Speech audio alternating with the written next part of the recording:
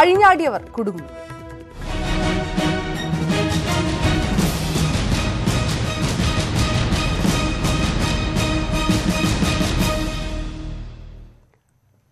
പണിമുടക്ക് ദിനത്തിൽ തിരുവനന്തപുരത്ത് എസ് ബി ഐ ബാങ്ക് ആക്രമിച്ച കേസിൽ രണ്ടുപേർ പോലീസ് അറസ്റ്റിൽ.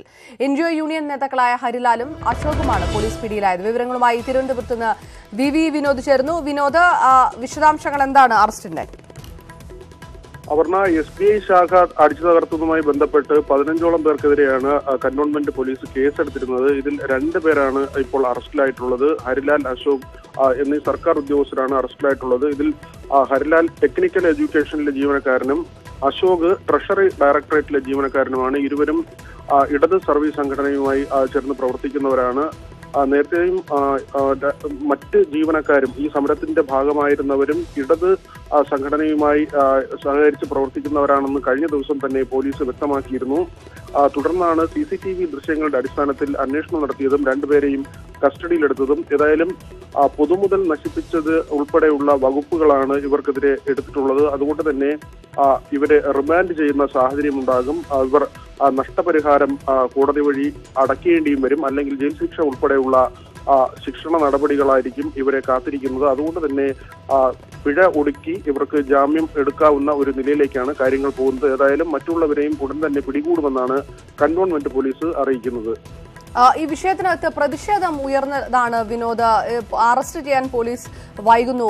ബാങ്കിൽ ജീവനക്കാരുടെ ഒത്താശയോടുകൂടിയാണ് ഇവർ ബാങ്കിനകത്ത് കയറിപ്പറ്റി അക്രമം നടത്തിയത്. ഈ രീതിയിലുള്ള പ്രതിഷേധങ്ങളെല്ലാം കഴിഞ്ഞ ദിവസങ്ങളിൽ ഉയർന്നു വന്നതുമാണ്. ആ പ്രതിഷേധങ്ങളുടെ മുനയൊടിക്കുന്നതാണോ ഇപ്പോൾ ഉണ്ടാകുന്ന നടപടികൾ? ഇക്കാര്യത്തിൽ പോലീസിന്റെ ഭാഗത്തു നിന്ന് ഏതെങ്കിലും തരത്തിൽ കാലതാമസം ഉണ്ടായി എന്ന് പറയാൻ കഴിയില്ല. കാരണം ഈ സംഭവം നടന്നത് തന്നെ ഇന്നലെയാണ്. ഇന്നലെ തന്നെ ബാങ്ക് മാനേജറുടെ മൊഴി എടുക്കുകയും അതിന്റെ അടിസ്ഥാനത്തിൽ എഫ്ഐആർ രജിസ്റ്റർ ചെയ്യുകയും ചെയ്തിരുന്നു. കണ്ടാലറിയാവുന്ന പതിനഞ്ച് പേർക്കെതിരെയാണ് കഴിഞ്ഞ ദിവസം കേസെടുത്തത്.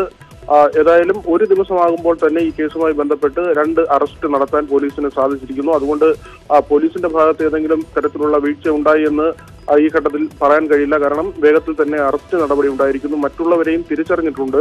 ഇവരെയും ഉടൻ പിടികൂടാനാകുമെന്നാണ് പോലീസ് അറിയിക്കുന്നത്. അതുകൊണ്ട് തന്നെ മറ്റ് നിയമ നടപടികളുമായി മുന്നോട്ട് പോകുന്ന ഒരു സാഹചര്യമാണ് ഇപ്പോൾ ഉള്ളത്.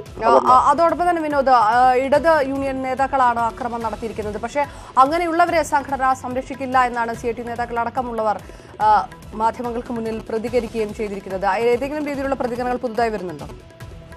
അപർണ ഈ പണിമുടക്ക് പ്രഖ്യാപിച്ചപ്പോൾ തന്നെ തൊഴിലാളി സംഘടനാ നേതാക്കളും അതോടൊപ്പം തന്നെ രാഷ്ട്രീയ നേതാക്കളും വ്യക്തമാക്കിയിരുന്നത് ഏതെങ്കിലും തരത്തിലുള്ള അക്രമത്തിലേക്ക് ഈ പണിമുടക്ക് നീങ്ങില്ല എന്ന് തന്നെയാണ്.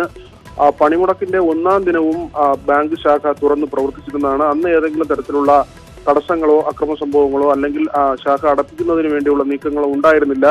ഏറ്റവും പ്രധാനപ്പെട്ട കാര്യം സെക്രട്ടേറിയറ്റിന് മുന്നിൽ സമരത്തിന്റെ പ്രധാന പന്തൽ കെട്ടിയിരുന്നതിന് തൊട്ടടുത്താണ് ഈ ശാഖ പ്രവർത്തിക്കുന്നത്. അതുകൊണ്ട് തന്നെ ആദ്യ ദിവസം എന്തെങ്കിലും തരത്തിലുള്ള പ്രതിഷേധം ഉണ്ടായിരുന്നെങ്കിൽ സമരക്കാർക്ക് ഈ ശാഖ അടപ്പിക്കാവുന്നതായിരുന്നു. പക്ഷേ ആദ്യ ദിവസത്തിൽ ഏതെങ്കിലും തരത്തിലുള്ള പ്രതിഷേധം ഉണ്ടായില്ല മറിച്ച് ഇന്നലെയാണ് ഇത്തരത്തിലുള്ളൊരു സംഭവം ഉണ്ടായത് ഏതാണ്ട് പതിനഞ്ചോളം പേർ ഈ ബാങ്കിലേക്ക് എത്തുകയും മാനേജറോട് തട്ടിക്കയറുകയും അദ്ദേഹം ശാഖ അടയ്ക്കാമെന്ന് അറിയിച്ചെങ്കിൽ കൂടി അദ്ദേഹത്തിന്റെ ക്യാബിൻ അടിച്ചു തകർക്കുകയായിരുന്നു.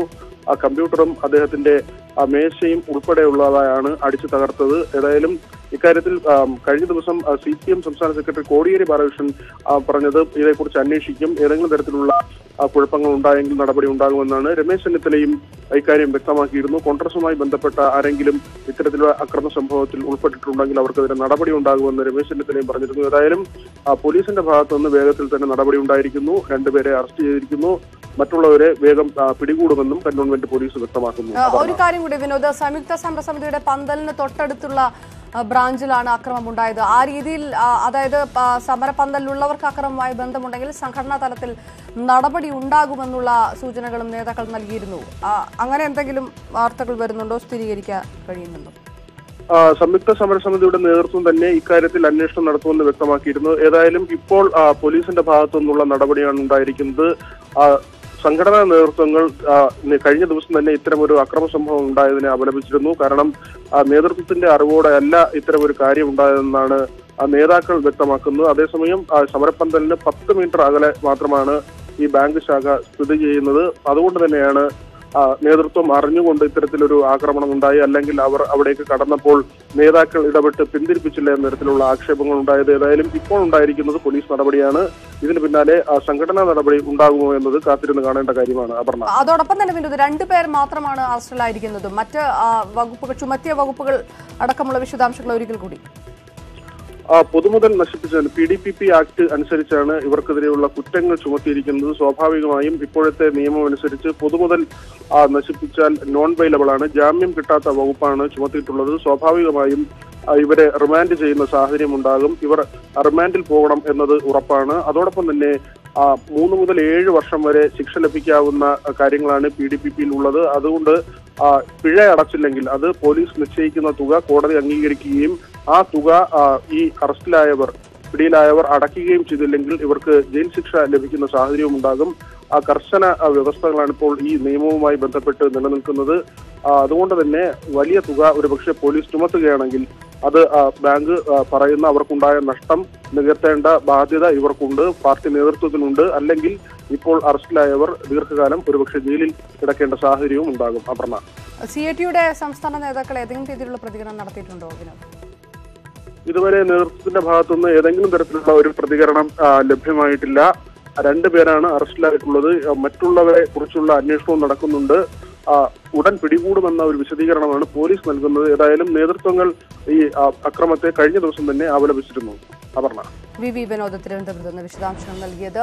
പണിമുടക്ക് ദിനത്തിൽ ഇന്നലെ തിരുവനന്തപുരത്ത് എസ് ബി ഐ ബാങ്ക് ആക്രമിച്ച കേസിൽ രണ്ടുപേർ പോലീസ് അറസ്റ്റിലായിരുന്നു എൻ ജി യൂണിയൻ നേതാക്കളായ ഹരിലാലും അശോകുമാണ് പോലീസ് പിടിയിലായത്.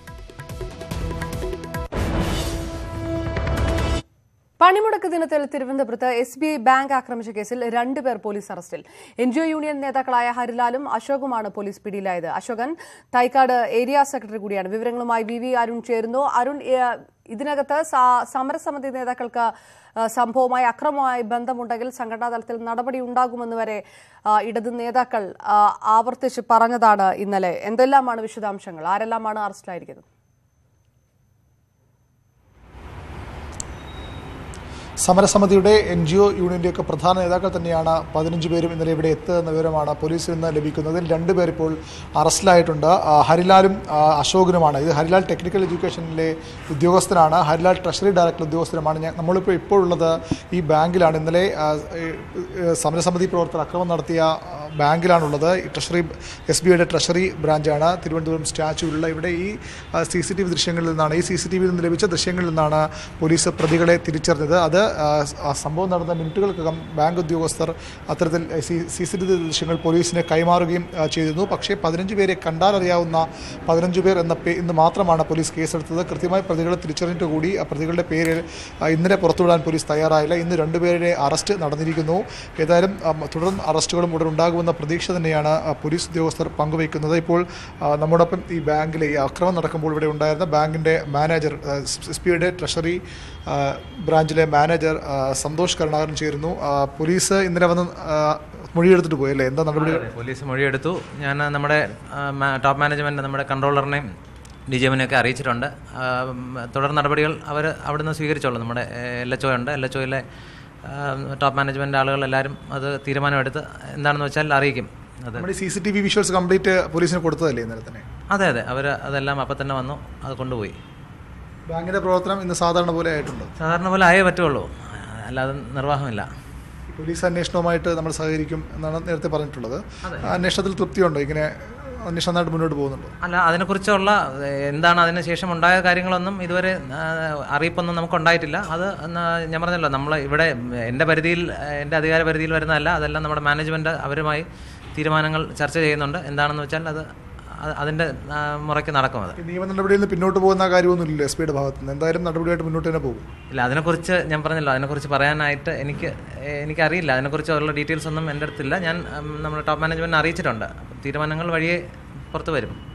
അപർണ അന്വേഷണവുമായി ഏതായാലും ബാങ്ക് അധികൃതർ സഹകരിക്കും. മറ്റു കാര്യങ്ങളിലൊക്കെ പിന്നീട് മാത്രമേ തീരുമാനമുണ്ടാകൂ. ഏതായാലും ബാങ്ക് ഉദ്യോഗസ്ഥരിൽ നിന്ന് ഇവിടുത്തെ ജീവനക്കാരിൽ നിന്ന് ഇന്നലെ തന്നെ പോലീസ് ഞാൻ തിരികെ വരാം. അരുൺ ഞാൻ വിശദാംശങ്ങളിലേക്ക് തിരികെ വരാം. ഐ എൻ ഡി സി സംസ്ഥാന പ്രസിഡന്റ് ആർ ചന്ദ്രശേഖരൻ നമുക്കൊപ്പം ചേരുന്നു. Shri Chandrasekharan N G O യൂണിയന്റെ നേതാക്കൾ ഇടത് യൂണിയൻ നേതാക്കൾ തന്നെയാണ് അറസ്റ്റിലായിരിക്കുന്നത്. അത് ഒരു പൊതുമേഖലാ ബാങ്കിലേക്ക് പ്രകോപനമില്ലാതെ കയറി അക്രമം ഉണ്ടാക്കിയതിന് എങ്ങനെയാണ് താങ്കളുടെ പ്രതികരണം?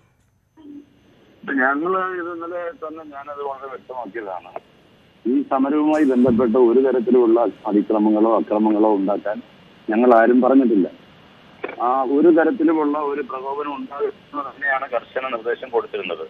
പക്ഷേ ഇതൊരു വലിയ ദേശീയ പണിമുടക്കിന്റെ ഭാഗമായി നടന്ന പണിമുടക്ക് അവരുടെ തൊട്ട് കൺമുമ്പിൽ തന്നെ ഒരു സ്ഥാപനം തുറക്കുന്നു. സ്വാഭാവികമായിട്ടും മനുഷ്യ സഹജമായ ഒരു പ്രതികരണത്തിന്റെയാണ് ഈ ഒരു സംഭവം ഉണ്ടാവുന്നത്. എന്തായാലും അതിനെക്കുറിച്ച് ഞങ്ങൾ അന്വേഷിക്കുന്നുണ്ട്. സംഘടനാപരമായിട്ടുള്ള നടപടികൾ അക്കാര്യത്തിൽ ഉണ്ടാവും നിയമപരമായി ഗവൺമെന്റ് കേസെടുത്ത് ഊർജസ്വലമായി അന്വേഷിക്കുന്നു എന്നാണല്ലോ ഇപ്പൊ നിങ്ങൾ തന്നെ റിപ്പോർട്ട് ചെയ്യുന്നത്. അപ്പൊ അത് സ്വാഭാവികമായിട്ടും അത് മറ്റ് ഒരു വലിയൊരു സംഭവമാക്കി മാറ്റാതെ ഇതിനെ സംബന്ധിച്ച് നിയമപരമായും സംഘടനാപരമായിട്ടുള്ള കാര്യങ്ങൾ മുന്നോട്ട് നടപടി നീങ്ങട്ടെ. അതാണ് നമുക്കും ആഗ്രഹമുള്ളത്. അല്ലാതെ ഇനി ഇത് നമ്മൾ ലോകത്തെ ഏറ്റവും വലിയൊരു സംഭവം ഇതാണ്. ഇന്ത്യ രാജ്യത്ത് ഇന്ന് വരെ നടന്നിട്ടുള്ള ഏറ്റവും വലിയ കുഴപ്പം ഇതാണ് എന്നൊക്കെ പറഞ്ഞ് ശ്രീ ശ്രീചന്ദ്